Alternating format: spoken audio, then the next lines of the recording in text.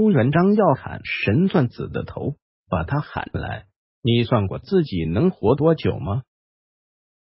元朝末年，凤阳城出了一个有名的算命师，他上知天文，下知地理，神机妙算，逢算必准，不少达官显贵都慕名而来，不惜一掷千金。可这位算命师不爱财，只给自己愿意算的人算。朱元璋就是其中一位。当时的朱元璋还不是皇上，刚刚和张士诚打完一场大战。虽然朱元璋在战争中获得了胜利，但是心里明镜儿似的。对方不论从人力还是策略上，并不比自己的军队差。这次赢只是侥幸罢了。朱元璋越想越不放心，正好听闻城里。有这么一位算命师，于是将其请来，希望算命师可以为自己算上一算。算命师一听是朱元璋请来，二话没说就来了。朱元璋将自己的疑惑说了，算命师端了端朱的面相，说：“尔乃真龙天子，必胜也，必尊也。”意思就是说，你打仗肯定会胜利，你是真龙天子的命，必定成为九五日尊。朱元璋听后大喜，说。往日若负，必当报答。意思是往后如果真如今日所说，我一定报答你。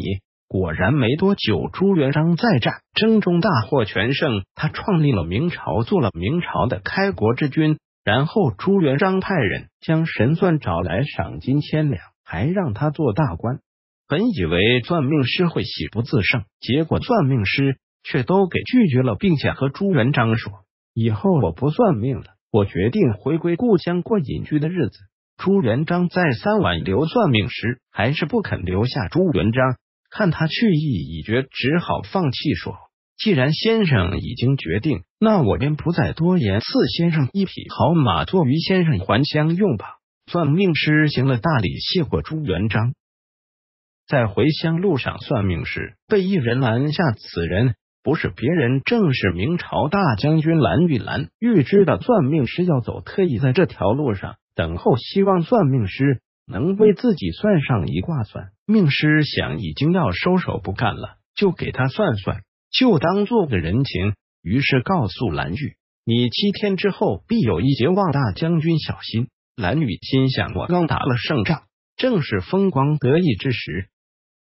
能有什么结束此卦？不准不准！结果七天之后，朱元璋治了蓝玉的罪个了蓝玉的职，并且听太子说，神算给蓝玉算卦时，说起过此事，更是气不打一处。蓝一怒之下抓了算命师来问算命师：“你每天给这个算，给那个算，那今天你倒为自己算算，还有多久可活？”神算早知自己命数在此，要不然也不会告老还乡。